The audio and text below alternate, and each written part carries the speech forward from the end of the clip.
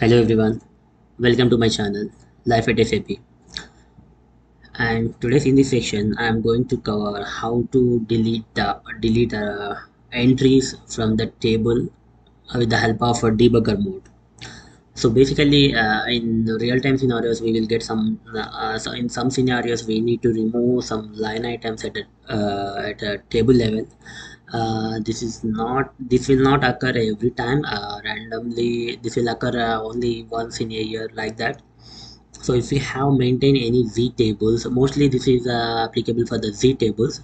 Uh, if any entry uh, it's we, the entry is automatically maintained or any posting that happened at multiple times and a duplicate entry is there in the z table. So it is impacting the report which is which is uh, in the front end uh, the report is uh, linked with uh, the z table. And uh, we want to remove uh, then only we want to remove that line item. Then only that report will show the balances balances accurately. So in that scenario we have to use the debugger mode and edit the table. And and the, in in in the edit mode we have to remove those line items that unwanted line items or duplicate entries so today I will take an example of a BSEG table and I will show you how to delete those entries. Okay let's get started now. So I'm going to SE16N now. So here my BSEG this is BSEG table. And my company code is 2000 and the physical year is 2023 so now here we can see number of the entries. Uh, as you can see the number of entries here 132 okay so now I have given the my required parameters here company code and a physical year. And now we have to slash h and hit enter. So the debugging debugging is switched on.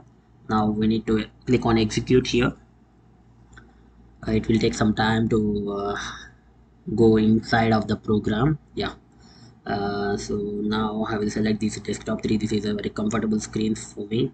And now here we have to enter gd hyphen adit edit and gd hyphen sap adit and then we need to edit on these things. And here we need to just simply enter x x hit enter and click on continue this button uh, continue or f8 anything is fine.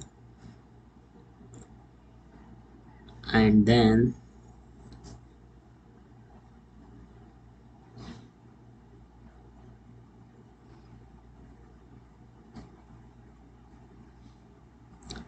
it will take a few seconds. Yeah.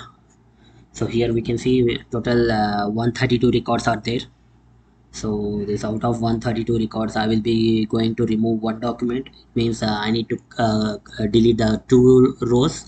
One is a debit and another one is credit. So if you want to delete the rows you need to uh, select here and uh, click on this one this icon delete rows. And if you want to add the rows we need to uh, click on add rows and then we need to enter the data. And if you want to change that row you need to select and uh, click on this one append row then system will uh, act accordingly. So i am uh, removing these line items here this one and two line item with the document number is uh, 1000 ending with one. So i have selected one entry here and uh, click on this delete row. And the same time the other line item also for each accounting document will be having a two line items at least uh, at least. Uh, one is a debit and another one is credit. So we have to remove both. If any document is duplicating yes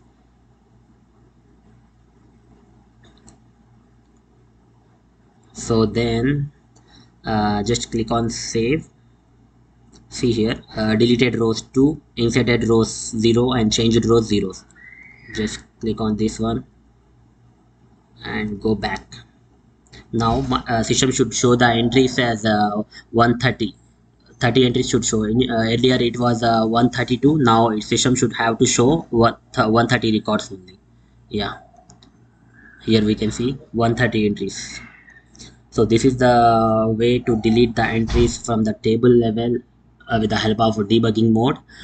Uh, generally this will excuse me. So generally this will uh, we, we have to perform for the mostly for the z z transaction z tables only. Yeah. Uh, that's all uh, in this section. Thanks for the watching uh, my videos and please do subscribe and uh, please uh, if you have any uh, uh, any comments or if you want me to make any videos on the any particular session just comment me on those uh, things. So i will uh, i will plan accordingly and i will do that one. Thanks a lot